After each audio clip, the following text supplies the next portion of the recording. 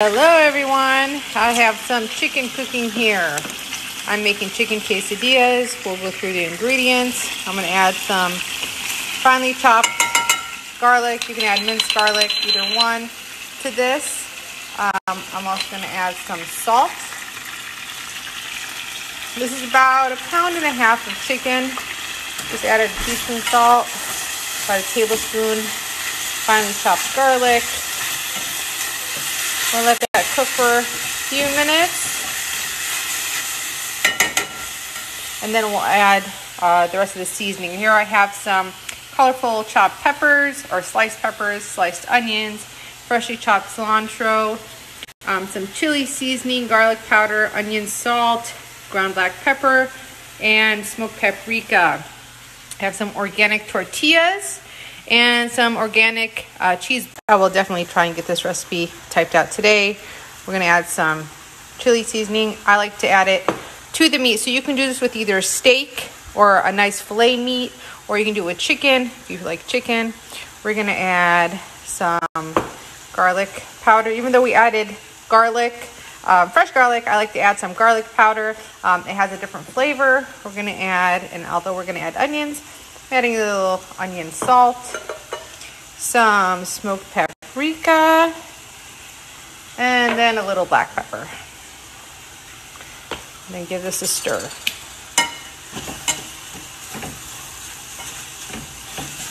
Now, the chicken cooks pretty fast um, because it's chicken and I'm using chicken breast. Uh, you can use dark meat or light meat. So we're going to add the veggies in.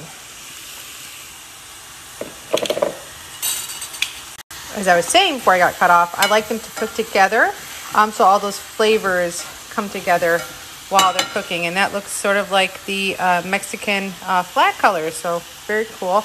I'm to lower the heat um, so we don't overcook our chicken. Again, you can use dark meat if you want. You don't have to use um, chicken breast. I actually like dark meat with these, but my husband prefers um, the white chicken, um, the white meat. So that's gonna cook. Now, over here, I like to use flour tortillas. You can use corn tortillas if you want. I like flour tortillas. These are actually a really good brand of um, tortillas that I found. Actually, I don't even know where I found these.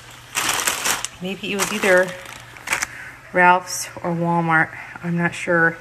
I don't remember. But these taste very good. Trader Joe's also and then, of course, our cheese blend. Um, if you don't have this, you can use straight cheddar or whatever cheese you like. Monterey Jack also goes really well with this.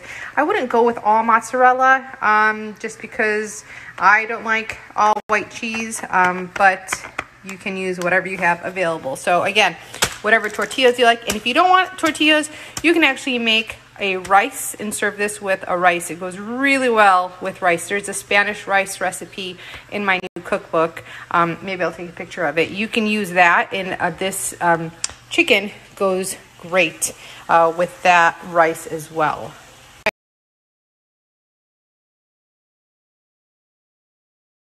Okay, so I'm going to turn this off.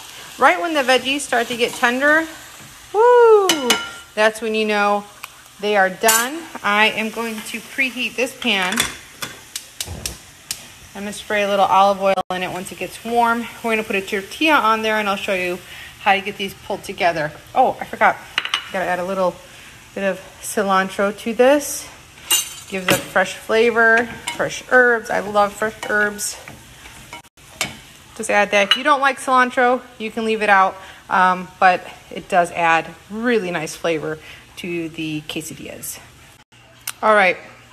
Some of you asked me what's that water sound in the background. I have a little waterfall um, in my house, so I apologize if it's distracting. But I sprayed the pan with some organic olive oil spray that I get from Trader Joe's. It's really good. Um, Ralph's has a good one. Ralph's is Kroger, by the way, for those of you um, in Michigan or on the East Coast. So a little bit of oil on there. I'm going to place the tortilla there. And then we're going to sprinkle this. Oh, hard to do one-handed. We're going to sprinkle it with some cheese. And this, the cheese is actually going to help the chicken stick to the tortilla and not fall apart. So just want decent amount of cheese. Then we're gonna get our chicken and layer in some chicken. Not too much, but just enough to make sure every bite has some chicken and veggies. Then we're gonna get some more cheese and put that on top because we have to put the other side of the tortilla. Now you could do half of this and then fold over the half. That's a much easier way to do it and then cut it up. I decide to do the hard way and I just press that down, right? And you want a really good spatula. You're gonna press that down, turn your heat on low, let this cook for about a minute or two. We're gonna spray this top with a little bit of olive oil and then we're gonna flip it. Alrighty, so now that it's gotten warm, I press this down to make sure, I don't know if you can see here, actually let me lift it for a sec. You can see the cheese is melted. This is gonna stick to it. I wonder if I can do it without using my hand. Let's see. Oh yeah, look at that, nice and crispy. I can see it's gonna be nice and crispy. All right, all right, everyone, here we go. Look at that baby. Oh yeah, crispy tortilla. It's gonna be a good one. So once the other side gets nice and crispy, I'm gonna take this baby out. Put them right here. I have my lineup of hot sauces. The first two are from my sister. For all you Texas people, here's your Texas representation. My Louisiana people, I love this stuff. And then my traditional tapatio. So these are the awesome hot sauces. I have some sour cream there. Let's see if I can cut this one-handed. Ooh. Nice and crispy. Look at that. Ooh, that cheese is melted. That looks good. Sorry, guys. Hard to cut. Throw a little cilantro on there. And dinner is done. This is my quick, my husband calls this one of my go-tos um, during the week because yes, it is a great go-to recipe um, to do so fast. You saw how fast I made that. So check this out. I'm going to try and get that recipe written up for you later on today. That you saw how simple it is. Just follow the video instructions and you're going to have a great meal.